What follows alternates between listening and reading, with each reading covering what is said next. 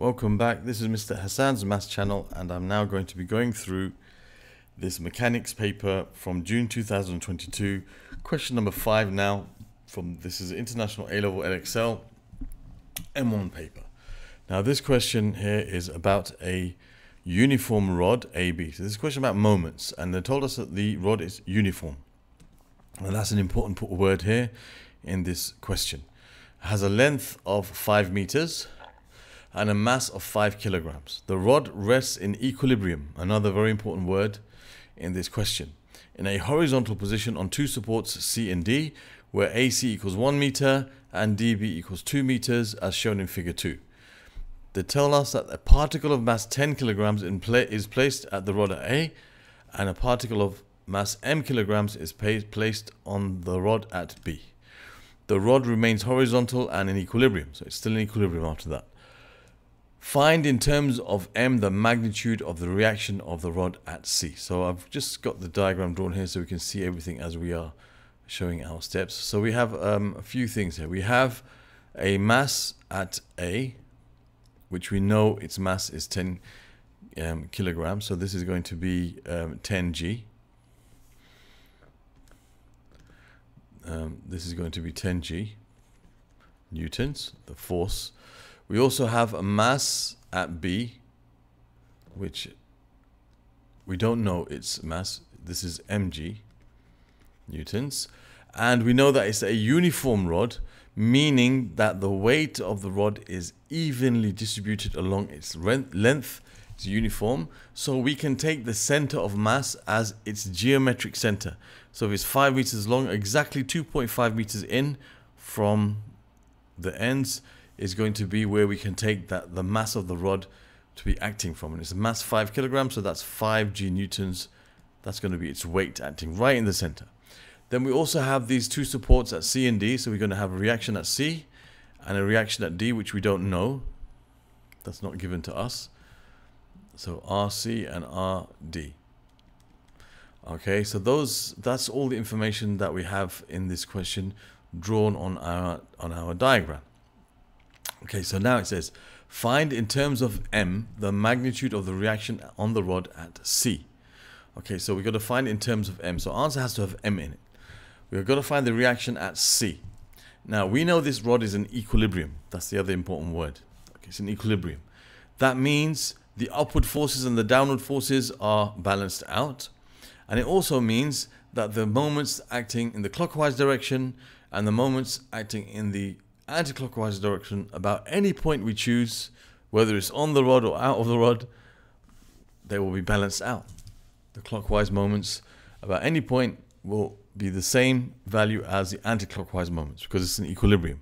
So we can choose to take moments about any point we want to on this rod. Now what's sensible for us to do here, because we have two things that are unknown for us. M is something which is unknown, but we have to express it in terms of M. So we there's no problem to have M still in our answer. But we want to find what the reaction at C is. So what we can do to try to make this very easy is take moments about the point D. Because the moments of a force, the moment of a force is the magnitude of the force times its distance from the place that you're taking moments about. So if we're taking moments about D, the distance of the force acting through D, the reaction force at D, is going to be zero. So the moment of the, the reaction force D about D is going to be zero. So that eliminates this force, and therefore we were left with only this as our unknown in terms of the N, M. So let's take moments about D. And what we can say is it's an equilibrium, so the clockwise and the anti-clockwise moments are equal. So if I take moments about D, if I think about the clockwise moments, well, you've got this one, which is 2 times mg. That's going to have a, a turning effect in this clockwise direction. So it's mg times 2. So we can say 2 mg. We also have this force, if I take moments about D, this is going to also have this clockwise effect. These two forces will have an anti-clockwise effect. So I've got to add this distance which is the distance of, um, let me just get this nice and neat. So I need this distance, the distance of the reaction force at C, from the point D. And we know that the total length of this rod is 5 meters. That's 2 meters there, 1 meters there, that's 3 meters, that's another 2 meters left. So that's going to be 2 times RC, 2 times RC, and that's equal to the anti-clockwise moments, which will be given by these two forces. Okay, so about D, this distance here from or from A to D, that distance we can see is 3 meters. So that's 3 times 10g plus, and we got this distance here. Well, as we mentioned earlier, this distance here is 2.5 meters. Okay, this is because the, the force is acting, the weight is acting exactly in the center. So that means the difference between these two here is going to be, this distance here is going to be 0.5 meters. That's 0.5 meters because that's 2.5 minus 2. So that's 0.5 multiplied by the weight, which is 5g. So that is an equation. The clockwise moments and the anticlockwise moments are equal because this is an equilibrium. So we can now write down, or we can write down an expression for RC. So I can say that 2 times RC is equal to, that's 30 plus 2.5, that's 32.5G minus 2mg. Um, so we can say R C is equal to 32.5G divided by 2, which is, um, that's going to be 16.25G, and 2mg divided by 2, which is mg. Okay, so that's 16.25G minus mg, and that's in newtons.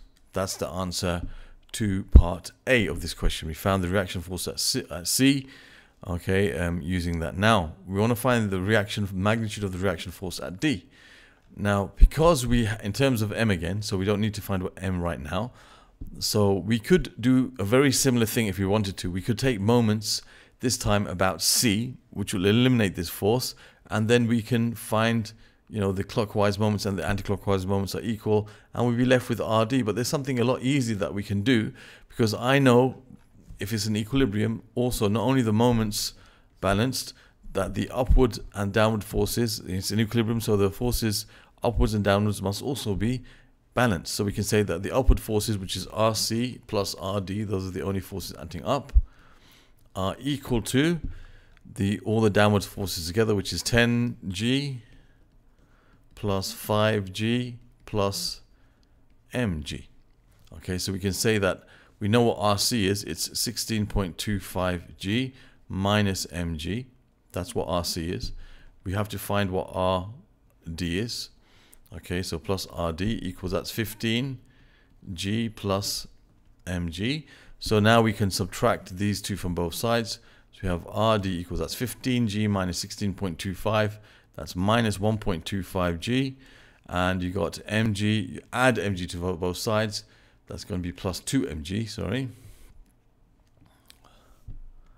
Plus 2mg. So therefore we can say that the reaction at D is going to be 2mg minus 1.25 g newtons. So that's the reaction at D in terms of m. And that's the reaction at C in terms of m. So there's the answer to part B. So that's A and B done. Now we're going to move on to part uh, C.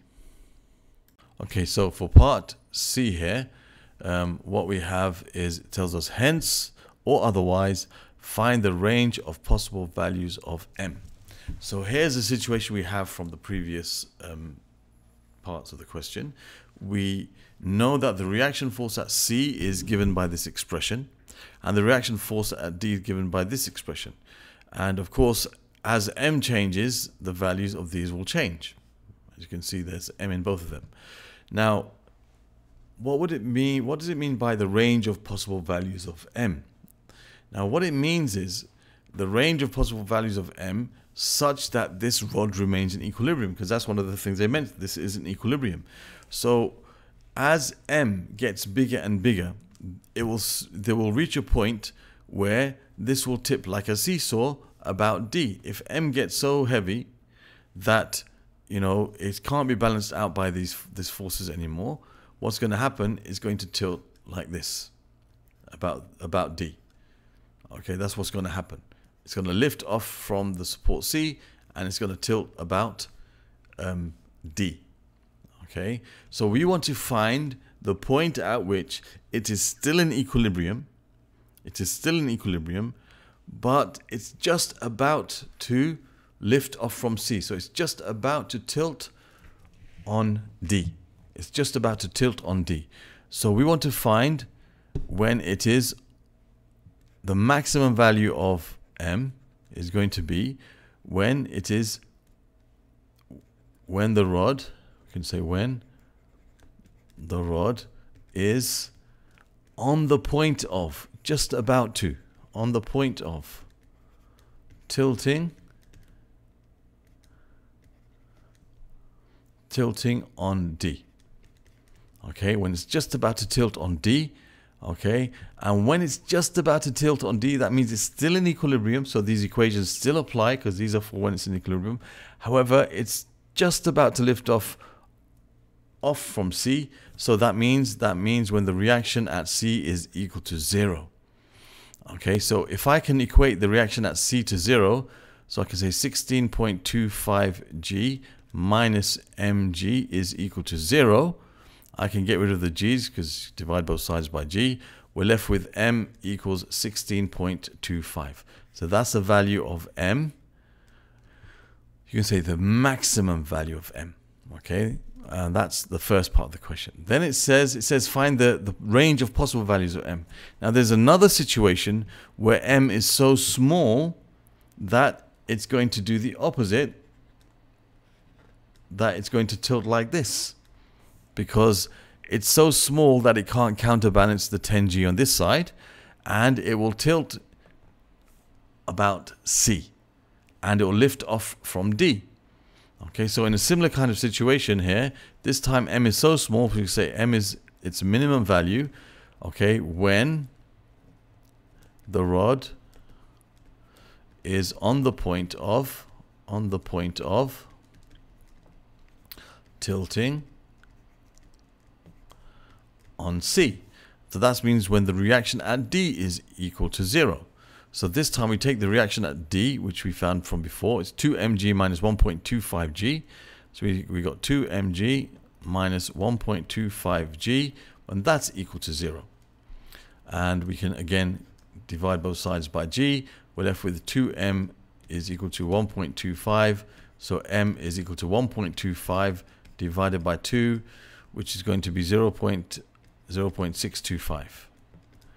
Is that right? So that's uh, 0, 6, yeah, 25. Okay, we can make sure. We can say 1.25 divided by 1.25. Whoops. Divided by 2, just to make sure. 0, 5 over 8, which is 0 0.625. So therefore, we can say that the range of values of m we should write this as an inequality because it can be between those values. That's just the minimum value. Okay, so we can say the range of values is between 0.625, the lower value, up to and including the up highest value, which is 16.25. We don't have to put newtons here, okay, because, or, kilograms here because m already is defined as in kilograms.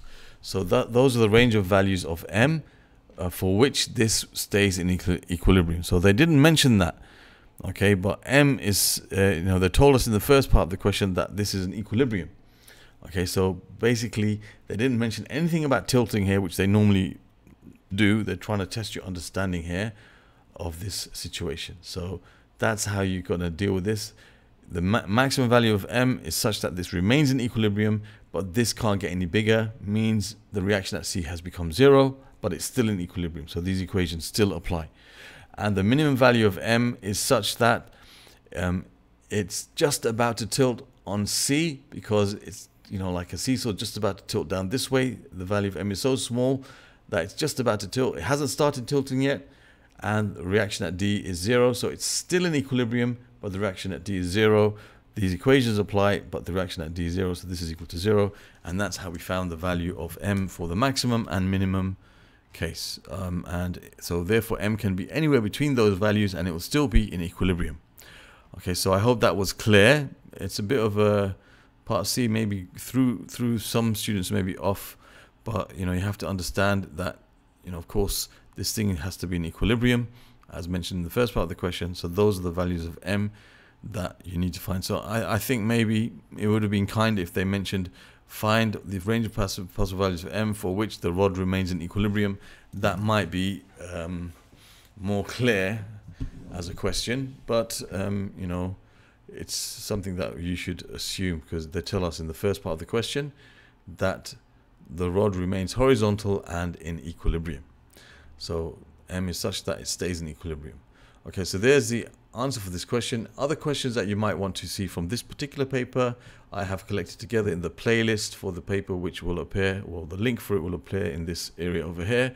The questions from M1 about moments I've collected together in the playlist that should appear over here and you can subscribe to my channel by clicking on this link in the middle that will appear and you can also find other uh, material links for which uh, in the description of this video. Thank you for watching and see you soon.